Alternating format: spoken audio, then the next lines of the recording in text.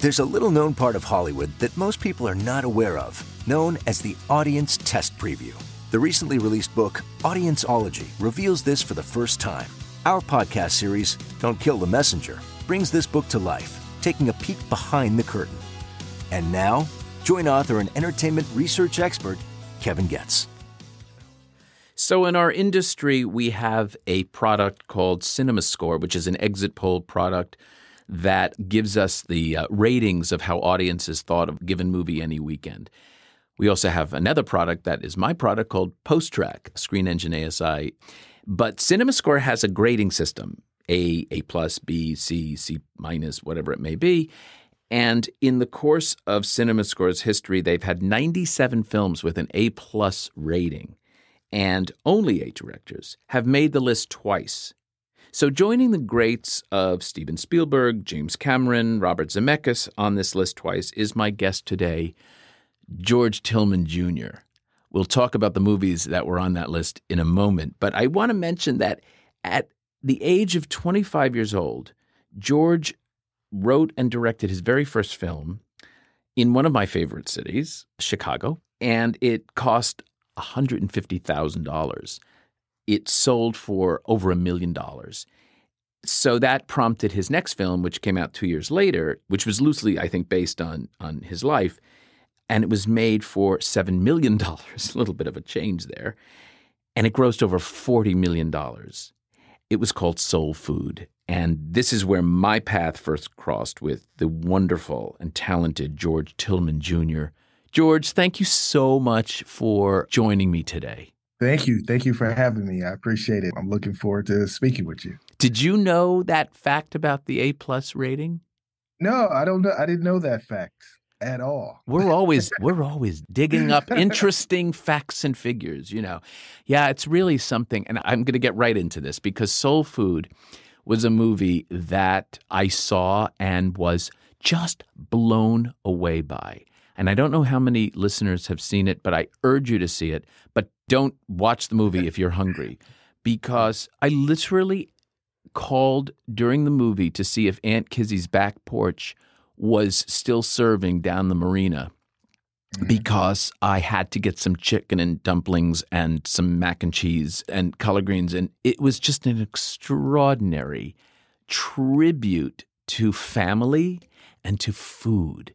And as a Jewish guy, we really share that culturally because mm-hmm. Jews and food are so connected. And I guess in the African American community, that Sunday dinner and those big family dinners were so very important to the fabric of bonding and bringing people together and family together.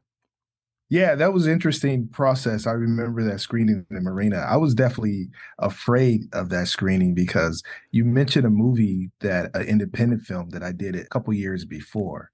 And we had a screening in Beverly Hills. And that was a and that was a screening. Why did you say it like that? I know. I'm like, it's this small movie at $150,000 and we screening it for this audience that was used to like movies like big Hollywood films. And our it just didn't work out. Everything was working out till we got to the third act and audience were walking out of the movie theater. So I was always afraid of test screenings, you know what I mean, going into it. So when they told me, well, the next one's going to be in Marina, okay, and I was like, ah, nobody's going to show up and then I get out and it was like lines around the door. And that's where I started realizing the ideal of having a really great title having actors in the movie that's recognizable. But that don't really mean anything until they sit down and they watch the movie. And I was just blown away by that screening. It's one of those highlights of my life. Being in Marina and really realizing what a test screening or what an audience screening can do for a movie. You know what I mean? In terms of helping. Absolutely. And but people love that movie and it scored extremely highly the scores on that movie were, if I remember, like in the 90s, in the top two boxes, excellent and very good. And and they're echoing exactly what I'm saying. It is just this homage to food. and uh-huh. and it was almost like to me it it just solidified you as a wonderful filmmaker. The fact that you were able to get underneath it all and just kind of bring that sense of family, as I said, to life. Just extraordinary, Yeah. George. Thank you, thank you. I mean, that was definitely a process, especially after that first movie that got me into the industry, got me into an agent, got me noticed. And then they said, "What's your next movie?" And I was like, ah, "I gotta think back in film school. They always tell you write what you know, tell what you know." And the first thing I just thought about was like, wow, I just remember these interesting Sunday dinners where all my uncles and my father would be watching the Green Bay Packers. You know, at, at the time, the Packers would always lose every Sunday. And my mom and her sisters and my grandmother would just always be in, in the kitchen making food. And I was this young kid going in between the men, talking about the women, and the women talking about the men. And then we were just hanging out. Brilliant, you just know, then brilliant. there would be these Sunday dinners, but everybody would show up. And I remember a lot of religious people would show up and like knock on the door and say, Hey, do you know the world is going to end in 1988 on Thursday? You know, it was like all these weird people coming by, but they're just coming to by to really eat my grandmother's food. So I just tapped in and then I started writing the material. But over the course of the film of writing, you find out what it's really about. And it just felt like, uh, wow, when you eat, family stays together. And it really just reminded me of a lot of movies that I saw just about family. And I just felt that's something that, as a filmmaker, you tapped into what you know.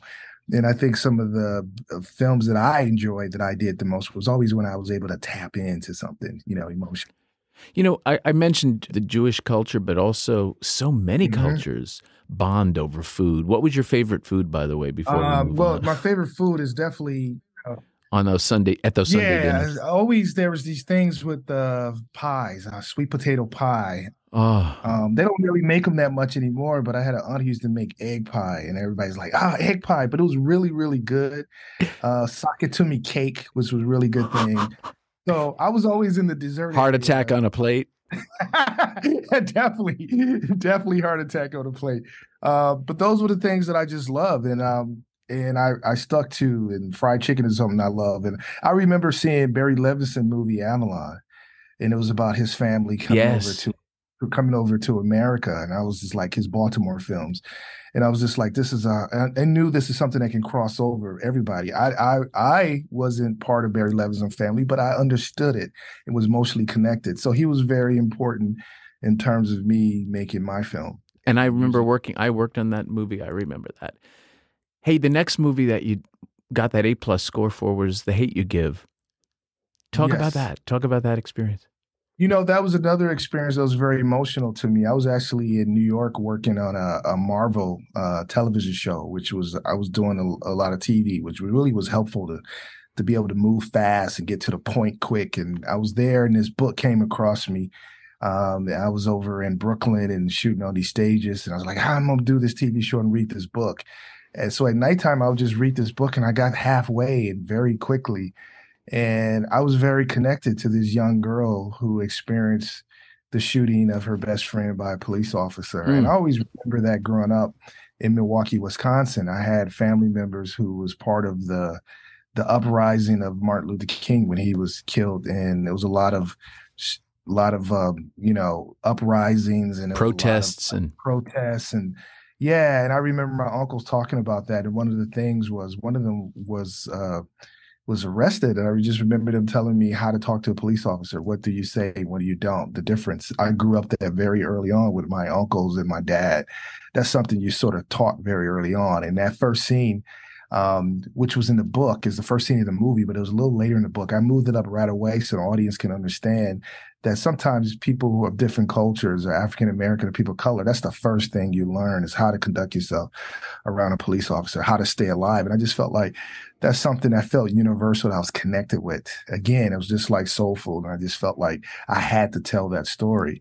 And the great thing about both of those movies, both of those movies were made by presidents of women who sort of understood a little bit about it. Laura Ziskin was the person who greenlit you know, soul food. And Elizabeth Gabler was the individual at Fox 2000 who greenlit The Hate U Give with Stacy, you know, Stacey Snider. So those were really very helpful, instrumental in in my career. But it's all having that emotional connection. all terrific, all terrific ladies. I miss Yeah. Laura. We had a Yeah, very uh, close relationship, and uh, and I really also loved her husband Alvin Sargent. Terrific yeah. writer. One of the greatest scripts I ever read was Ordinary People. I remember I used to use that as a way to say, this is the perfect script. if you want yes. to see structure. Exactly. Yes. you know, you know, talk talk to me about your influences starting out. Like in Milwaukee, you were a young guy there and you somehow got interested in film. How did that happen? Yeah, well, you know, the most interesting thing is when I was make when I was a young kid, when I was a young kid in film, uh, the first thing uh, I watched was television. You know what I mean? And TV was the the thing for me. Um, and watching television. Uh, one what'd you watch? What'd you watch? What'd you watch? I, it was like always these weekly shows that would be on. It was really this weird show called Elvira. Elvira used, used to play a lot of these old B movies. Yes, you know, like from the from the seventies or from the eighties. You know, um, but two films came across my desk, which is I remember very early on, just seeing a poster.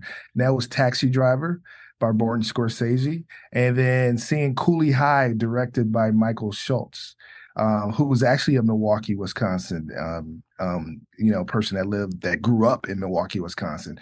That was made in 1975, and um, Taxi Driver was made in 1976. So those two films were the first films I saw as a teenager. So Cooley High was the first film I saw in the movie theater. And then the first VHS I had was Taxi Driver. So I showed that movie to my dad.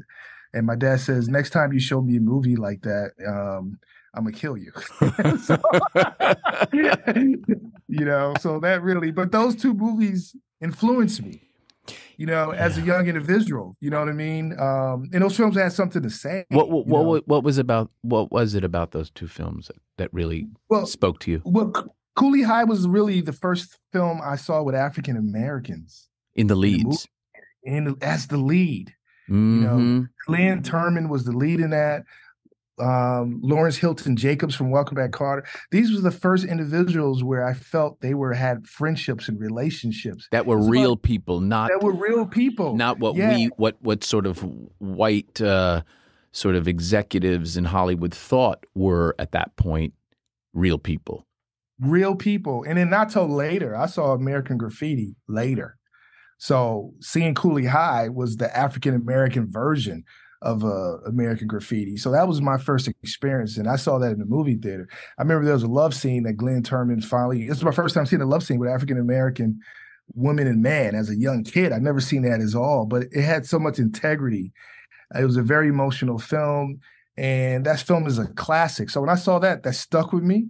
And then when Taxi Driver came, when I saw Taxi Driver, what I saw was the control of a camera. Like, wow, the camera can tell you what to do and what to see, mm. and how to lead you. Mm. You know what I mean? So from the POV through the the rearview mirror POV of De Niro's character Travis, you know, looking through the rearview and the POVs out the window, um, the high angle shot of the last scene. It was just like you were looking at that then. At that, how old were you? Looking, how old were you then? I was man, I had to be about 12 years and old. you're looking at angles and sort of trying I'm to... looking at angles, wow, man. And, wow. and writer, and I remember looking up who wrote this and Paul Schrader. Oh, wow. Schrader directed a movie and he was behind all these other films. And then that was my beginning. Mm-hmm. And my another beginning, which I hate to, I'm not ashamed to say it, but my grandmother used to watch a lot of soap operas. You know what I mean? She used to watch. So all my children. To, yeah, all my children. So right did away. my grandmother. All my children. Yeah. One General life to Hospital. live. Yep, General Hospital. So I remember at the end of watching General Hospital, they had the name of the studio. You can write an address, and so I sent them some information. I said, "Hey, I got some ideas for your plot." and they sent me uh, said, no no thank you and i said well can i have they sent script? they sent something back at least they sent something back wow. and they gave me a script and that's how i saw our first television script or any script. What do you mean they gave you a script? They sent me. I said, "Do you mind sending me a they script?" Did They did. They actually sent me. Yeah, and I saw how the the structure of these scripts were. So um, that was the beginning for me of seeing an actual script and then watching those two movies, and that's where I felt like I wanted to be a filmmaker at that point. Wow! And um, and and when did you first get a camera in your hand? First camera was like had to be like around the same time, ten years old. My dad had an eight millimeter. He let you uh, play with it, huh? he let me play with it. He had an eight millimeter camera, which was so great for me later on with Soul Food because I was able to see how these traditions of black family, my black family, through the years of all these dinners and Thanksgiving gatherings. We used to always have these little things around Christmas time, the grab bag. You, everybody put their name in a grab bag, you shake it, and then you put your hand in there, you grab a name out, and that name is, oh, Aunt Mary. We That's call that Secret Santa. That's what it was, man. And then you then you gave that gift, and then someone could take the gift, and if you didn't like it, you could grab someone else. You could grab something else, and that was that's something I couldn't get into the movie, but that's something that I saw all these traditions and everything. But it was through like documenting through film through have, have you seen um, the Fabelmans yet? Spielberg's movie. No, that's the I'm on that's on my list. Oh, you're gonna you're gonna really dig it, and you're gonna like it because it's um it's it's it's very similar to your own story the way wow. his his mom and dad sort of were encouraging him and gave him that camera, you know, and he just took it and ran. And then wow. they they didn't laugh at his dream, you know. They they they encouraged him um, and he was just sort of passionate about it. It's such a lesson I think for every parent to you know, look at their child and see what they're good at and what they're sort of gravitating towards and and and help promote that, you know? Yeah. That is something I was really blessed with because at the time, coming from Milwaukee, Wisconsin in the early 80s, you know, and telling my parents that I want to make films. Like my dad grew up and he migrated from the south and he worked his way through the steels and then he started was a automobile worked in the automobile business worked at american motors for years and then chrysler the entertainment business is the farthest thing he could ever imagine. Absolutely. In Detroit? In Milwaukee. In Milwaukee. Oh, so this in is Milwaukee. still he's still in Milwaukee. And this is when you were in Milwaukee. Milwaukee in the 80s, yeah. So from all the way from the 70s to the 80s to the 90s, my dad worked in the automobile business. So having your son say, I want to be in the entertainment business, a director, my dad was like, What is that? What what what what kind of job is that? But he was um he was he just he put his faith in me. He just he still lead led me. And nobody everybody around in that time in milwaukee as african americans going to school i want to be a director. Who does that? Who leaves milwaukee? Who leaves and did you? get out of town? And i did. I eventually left. Um, my dream was to go to nyu um, and that didn't happen. So the next step was with me was columbia college which was okay, Columbia College is Chicago. But the, the interesting thing about Columbia College, you get a camera freshman year. Oh, you make you making movies right off the bat. Mm-hmm. Yeah, uh, makes a huge difference, so, doesn't it? Just to sort of play with it, not be scared of it, if you know what I mean.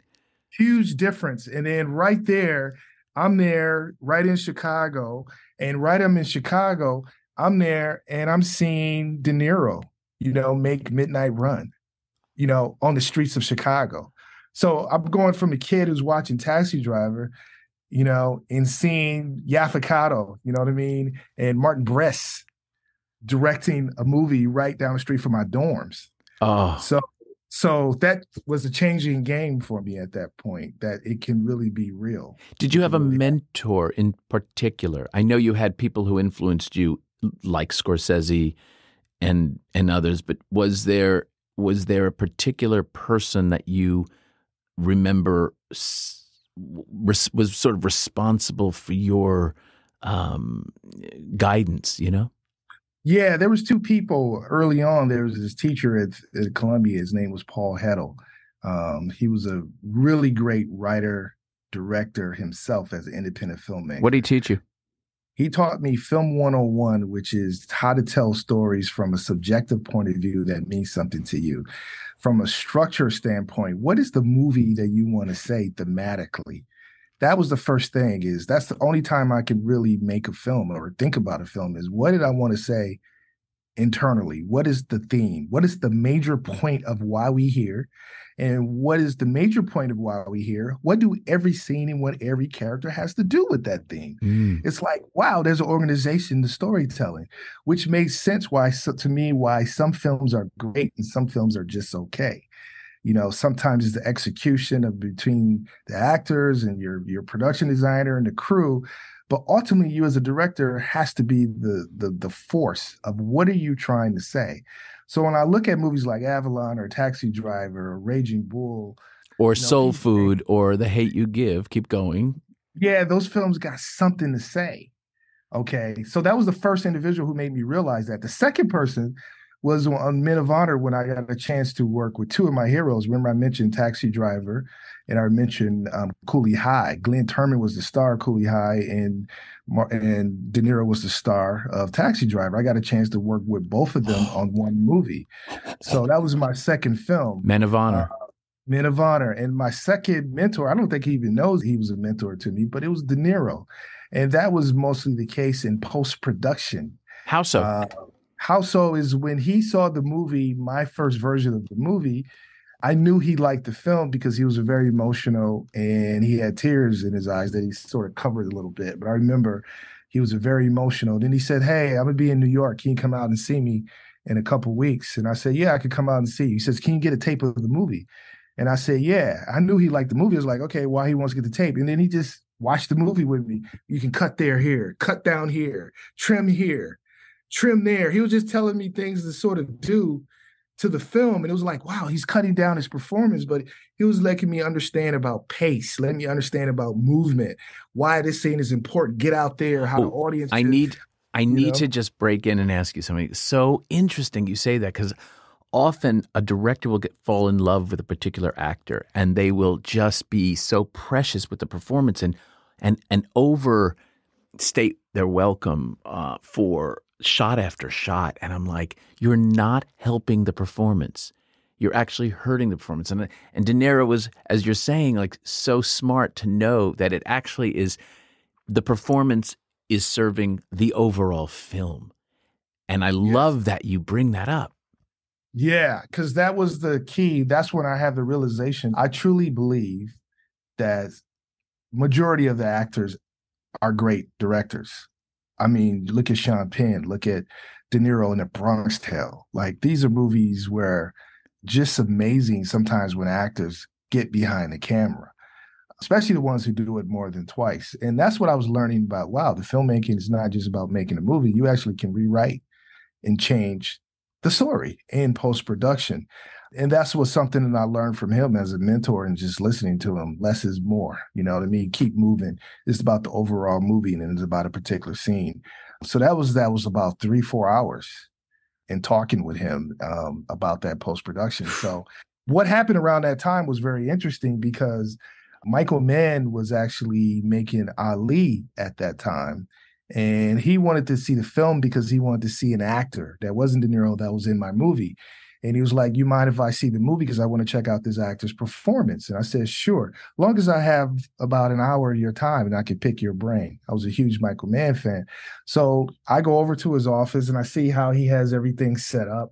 It's very similar to how I borrow a lot of those things in pre-production. So I sat down with him. He says, "I saw your movie. I loved it. Everything was great. I just the music just the music. When you go emotionally, you bring the music right with it emotionally. Have the music go the opposite way. That really hit me at that point wow. where I I have a last minute thought about music and how I see music now. And so even though I only talk to him for an hour and I see him every now and then, and I always just say hi and say some things. Just it, it was just that so influential, that comment. That influential. Yeah, that comment and how to see music. And I always felt like oh yeah, there's something going on emotionally, just push it. Just go with it. No, yeah. no. Go the opposite. Do less, you know, or take away music. You know what I mean? Did you make the movie, the first movie? What was the name of your hundred and fifty thousand dollar movie? Uh, this is a movie called Scenes for the Soul. Scenes for the Soul. Did you yeah. raise the money for it? How'd you get it? Yeah, I, re- I raised the money with my business partner, who my producer, who I work with a lot, Bob Teitel. We were just in Chicago at that time um, like I said, I really wanted to be a director early on in my life. So and as soon as you uh, graduated, I, basically? Soon, yeah, as soon as early on in, in high school, I thought that's what I wanted. And I told myself, damn it, I'm going to be the first African American black filmmaker in the 80s and 90s. And little did I know that Spike Lee came out When she gotta have it, and John Singleton came out with Boys and Hood, ninety one.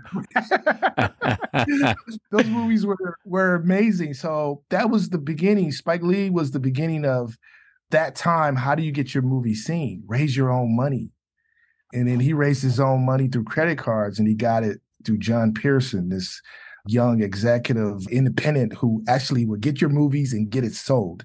So our whole thing is where do we get our money? So we wanted a budget of five hundred thousand dollars to make the movie. We couldn't get it, so let's just make it for what money we can get. That's right. And it was one hundred fifty thousand dollars, and a lot of that was raised by people in the automobile business in Chicago. Who what was then what now became GoFundMe probably was like just asking anyone you knew, right? That's what it is hundred thousand dollars here, good for you.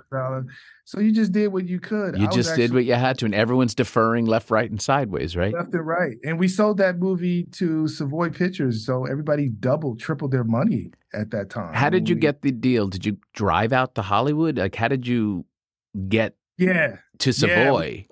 Yeah, yeah we drove out to Hollywood. We had this is something I always say: have something in your pocket. If it's not a script, a calling card.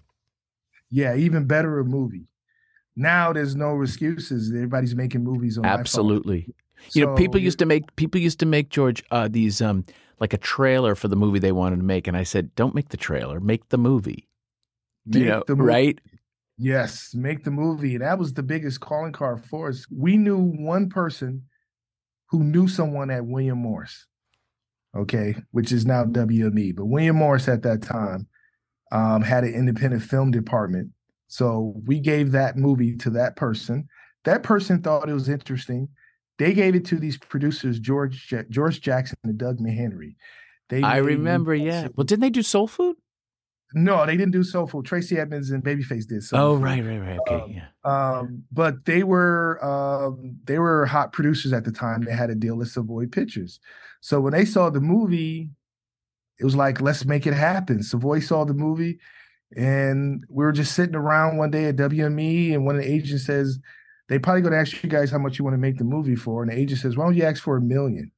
We're like, what? The movie only costs $150,000. Oh, please. You know, they said, just ask for a million. And we asked for a million, and Savoy Pictures bought it for a million. I couldn't even. Was it worldwide rights? It was worldwide rights. And and you walked away with probably a couple of hundred grand yourself, right? A couple hundred, couple couple hundred grand. Uh, I had to divide it between my business partner. It was enough to keep us going for a little while. And we were working on the movie to get it ready for to come out. And then the movie, the Savoy Pictures went out of business. Oh, I remember well. Wow, that was and, unfortunate. yeah, and I was like, when is the movie going to come out? And it never came out. And I was writing Soul Food for those Wait, guys. the movie to this day never came out? Never came out. It just never came Not out. even on video. Not even on video. I hear that they lost one of their last reels of the movie somehow. Um, never came out. So you tried to get it back, I'm sure, somehow, some way. We tried to sell it, get it back, and then it just went away. And at the time, I was like, hey guys, I'm writing the movie Soul Food. I'm writing the next movie that you guys asked for. I never really got any response, never got any calls. They were out of business. And then next thing you know, Fox ended up buying the movie. So that's how they bought it in development from the script. You mean, they, or, they or before? It in, in, in, development. Yep. Wow! Wow! Wow! Wow! Well, so I'm just concerned. We have to get this movie out somehow. Your first um, movie. I, I, think it's good to be buried. I think so.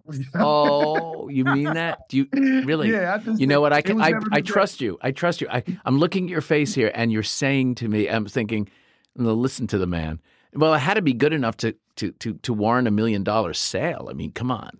And you yeah, know, I know your ta- I know your talent, and and it's like, come on, it can't be can't yeah. be all that then, bad, man. Right. And then Laura Ziskin saw it and she says, Oh yeah, you can direct. You can direct Soul Food. Let's go greenlight the movie. So, so she, she did she got to see it.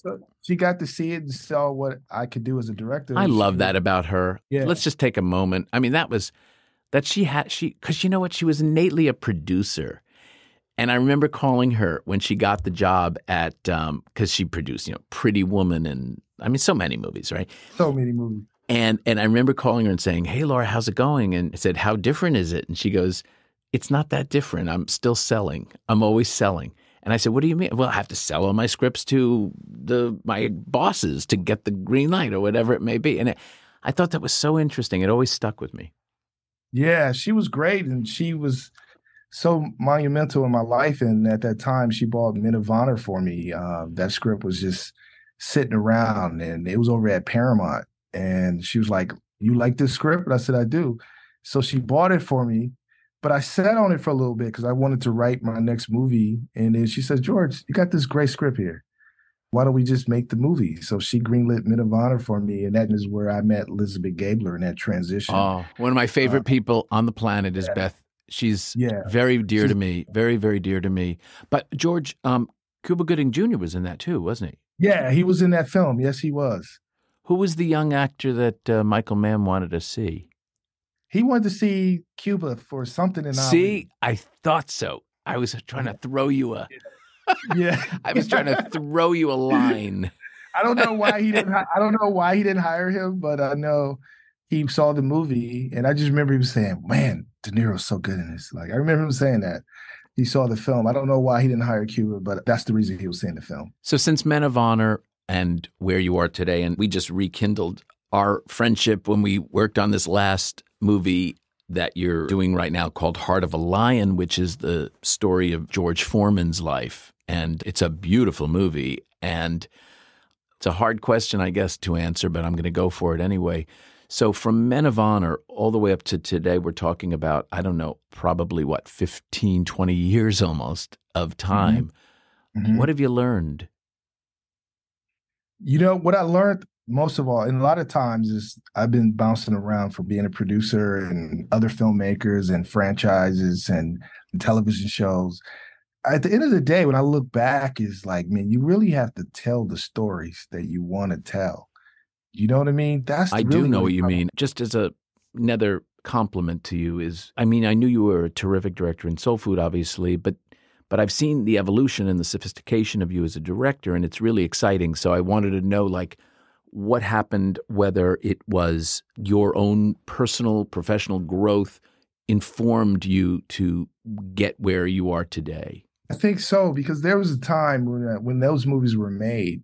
So for I mean, it was made at a time when there wasn't a lot of African American movies made. You know, seven was the cap that they would give you, or seven or eight.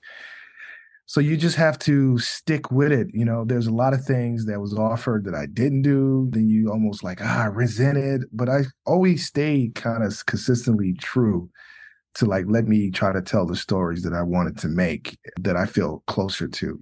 There's a mm-hmm. between those movies, there's another small movie I did called The Inevitable Defeat of Mister and Pete. Small movie. Only did that for like four million dollars. I felt like I had to to get to the basics after doing one film that I really wasn't happy with. I did it just to do an action movie, but and I felt like I hold on. Which one was that? Well, I just felt like Faster was a movie I did at CBS Films, and at the time, I just felt like yeah, we oh, man, we worked on that together. Yeah, and it was a fun like, movie. It uh, was a fun movie. It's, it's, a fun movie, and at the end of the day, it's like, what did you have to say with it? You know, as a filmmaker, and it was an action. I wanted to do action, and I wanted to go in that road, and I still do. But you can do action. So wait, you didn't answer your own question. Yep. That's not uh, the reason you just said it. You said, "Why am I doing this? Just because I wanted to do an action movie? That's not the reason that's to do not, a movie. That's not the reason to do a movie and had a great time doing it. But I felt like, wow, I had to go back to the basis and do a four, a three, four million dollar movie. Sure, to get to and something that meant something to you, that felt that something. meant something to me. Went to Sundance, played at Sundance, came out, got great reviews. That's all I needed. Get back on the mm. bandwagon. You know what I mean? Just to get back to the basics of why oh, I do know what you mean. I have the good fortune of having one of my best friends in uh, Gena Rowlands, the great actress. And I didn't really know Gena when she was married to John. We met right after he passed. But our, one of the things that Gena, who's still with us, thank God, she's living in Palm Springs, she said to me always, she always followed her heart. Now, she did some movies that she knew she had to pay for the movies that she and John were doing. So they would go off, make a movie for a studio, come back with some cash to put into the movie that they were making. but all the movies that she was passionate about had a tremendous meaning for her. And that's how she guided her career. She never cared about all that other stuff. I always Yeah. admired that so much. And it sounds like you're sounds like you learned that. The heart never fails you. it never fails you. And there was some things too. You go left is to go right. Let me just tell you, like Elizabeth Gabler, we and her was talking, and they had a movie called The Longest Ride, right? That was a love story that was set in the role of bull riding. It's like, what? I don't really know bull riding, right? and then my wife was telling me, like, hey, you know, it's about love. We've been together about since high school, 36 years. Maybe you can tap into it. And I tapped into it and I really did have something connected. It's a little bit, and I love the bull riding. That was something that it was a really great experience. Really wasn't per se connected to me, but it was just I wanted to work with Elizabeth Gabler. I loved the bull riding. I had a really good time. But what that did was it set me up later for the next movie, which was The Hate U Give. And it was with Elizabeth. And I felt like that movie is close to my own cut as it can be. You know what I mean? Wow. Yeah. Because, because of the But, but sometimes you I want to acknowledge also, so Yeah. soul food was too. Yeah, Soul Food You- was too. Because when a movie has that emotional resonance, I find that I don't see that many substantive changes because no one wants to fix what's not broke. yeah. You know what I mean? How often do you see that on your side? Not terribly often, to be honest. I see changes because, well, for different reasons. But what I'm saying is when you get a filmmaker who has such great conviction coupled with wanting to win, meaning they want the movie to be successful. So they know their heart, they trust their heart. They're fighting for their movie, which I completely respect, but yet they're not closed off to hearing what audiences have to say and then making a cogent argument for that. But just to hold on to something for holding on to it is kind of bullshit. It's kind of bullshit.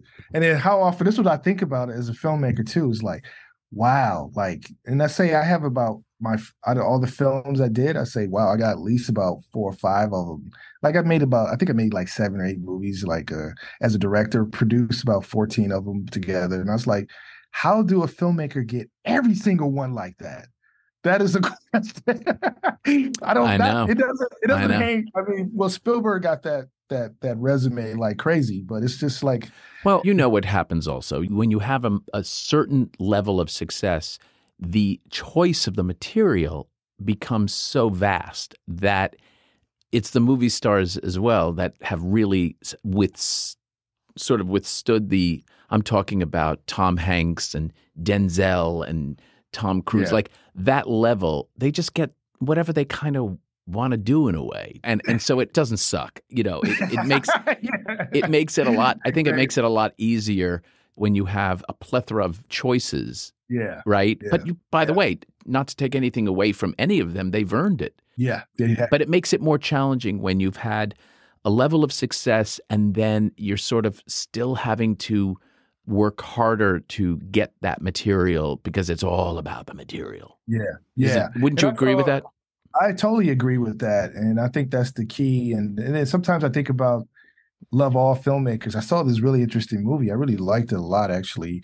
James Gray, uh, Armageddon Time. I don't know if you've seen that. i haven't yet i haven't seen it yet Yeah, it's really good. And you know, you see filmmakers who just keep plugging away and keep it uh personal and um so you always learn as a filmmaker you learn from everybody you know what i mean You Yeah, learn- I totally do. We learned that in school because I went to an acting conservatory and they taught us don't walk out of things, go the distance, stay and learn what's not working. I remember I used that my whole life, and there was a intolerable show. It was at the uh, Ahmanson or something, and I just was like, "I'm too old for this shit. I can't do this anymore. I'm walking out." I walked out during intermission, but I but almost always I really try to. What can I learn here? And I really do, and I continue to. And I think the day that we, as professionals, artists, give up that ability is like, give it up. You know, that curiosity, that insatiable Yeah. curiosity. I love that your wife uh, opened up your your eyes to see the possibility of that movie. Uh, You know, hey, Yeah. talk the love is a, talk about your beautiful wife, who I think is phenomenal. Well, it's so interesting is she's been around for a long time since I was 16 years old. We met, we were 16 years old. And how I met her was I was coming from football practice. I played football. That was my second dream before I realized I was too small and really couldn't run as fast. so I came up to her, I saw her walking by, and I drove up to her and I just said, Let me use what I have. I said, Hey, I'm George Tillman Jr.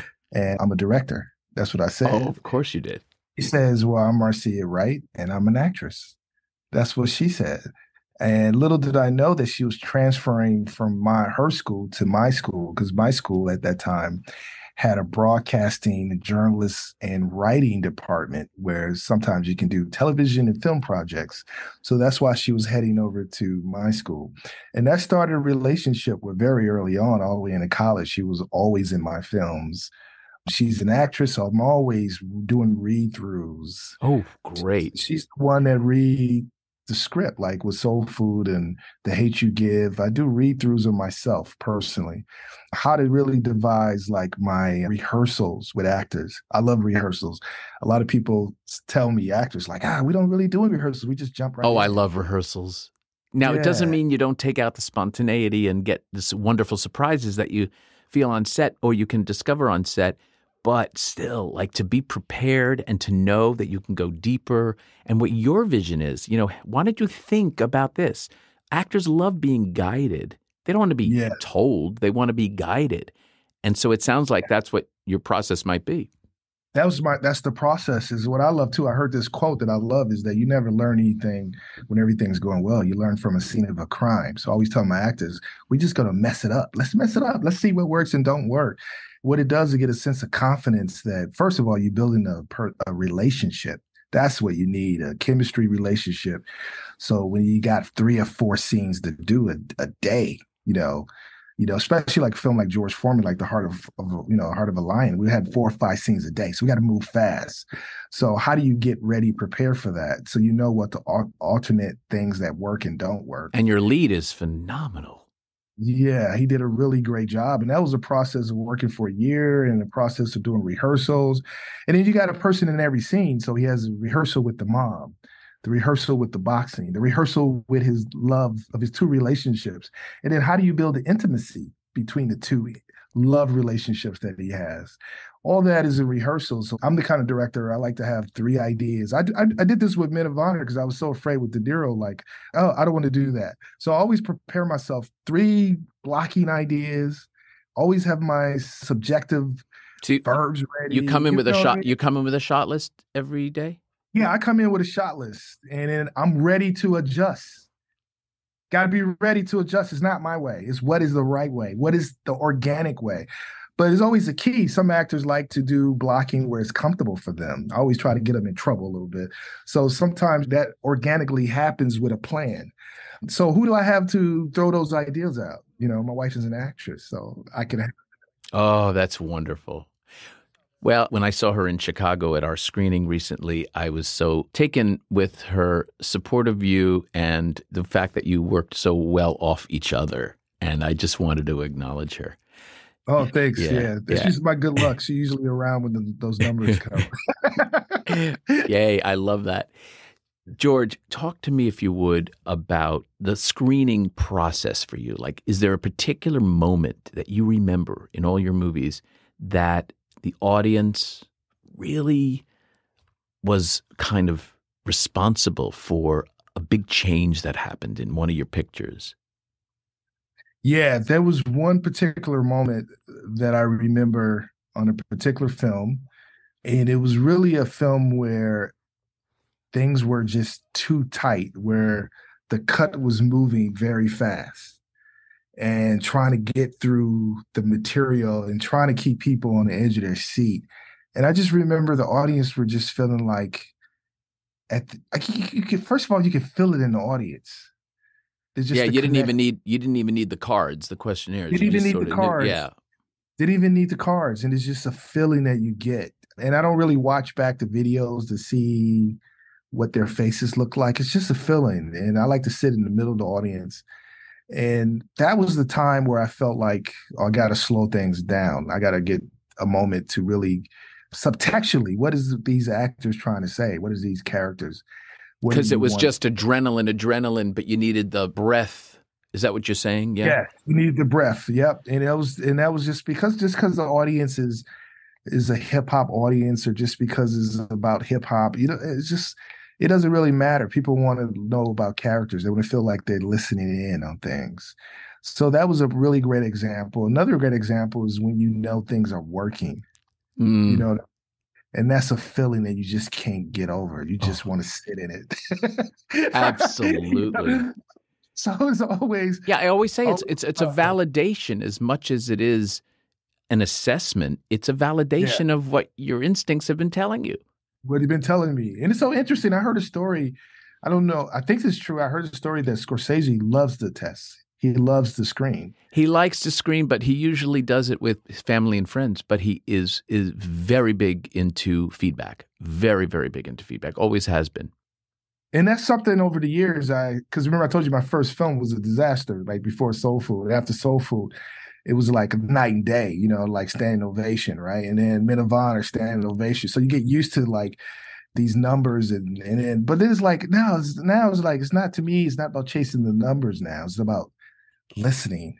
Yeah. You know what I mean? Yeah, yeah. That's important because the numbers are going to get there if you just listen to what they're saying. Sure. Are you excited about where things are going with our business right now? Um, yeah, I am very excited. Um, I am very I'm trying to figure out what's the next step. I don't know what's the next step. It's like it's you know, so much there's so much out there. So how do you stand out is the key for me now. Differentiation. Uh, yeah, I had a, a, really good question, good conversation with Tom Rothman over at Sony. He's like, these days to go into theaters, your movie's got to be great. Can't be good. Anymore. It is hundred percent true. I just interviewed Tom and Elizabeth for my new book, which is going to come out next year. It's called "How to Score in Hollywood," and it's about getting to the green light, you know, and mm-hmm. how and what that process is, right?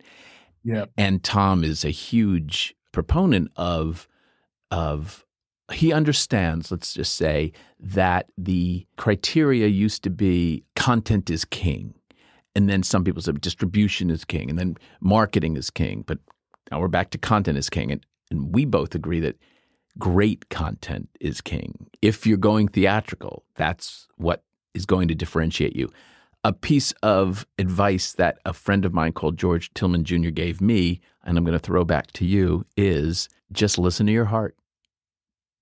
Thank you. Just yeah. listen to your heart because that will create differentiation. Because to me, the three best films you've done, including Hate U Give and Men of Honor mm-hmm. and Soul Food, for me, and of course the new movie, which I'm not allowed to really talk too much about, but it will definitely join that list. I'll just say that is the fact that they're personal. They're personal and they have meaning. And so, with that, I can talk forever, but I need to let you enjoy the rest of your day. George, Tillman Jr., you are a very special person and a terrific and talented director. Thank you for joining me today. Thank you. Thank you for having me, Kevin. I really appreciate it. Thank you so much. I'll see you at the next test. see you at the next test. I look forward to it. Okay. And say hi to uh, Marcia, please. I sure will. To our listeners, I hope you enjoyed today's interview. I'm Kevin Goetz. And to you, our listeners, I appreciate you being part of the movie making process. Your opinions matter. Get a glimpse into a secret part of Hollywood that few are aware of and that filmmakers rarely talk about. In the new book, Audience-ology by Kevin Goetz. Each chapter is filled with never before revealed inside stories and interviews from famous studio chiefs, directors, producers, and movie stars, bringing the art and science of audience-ology into focus. Audience-ology, how moviegoers shape the films we love. From Tiller Press at Simon & Schuster. Available now.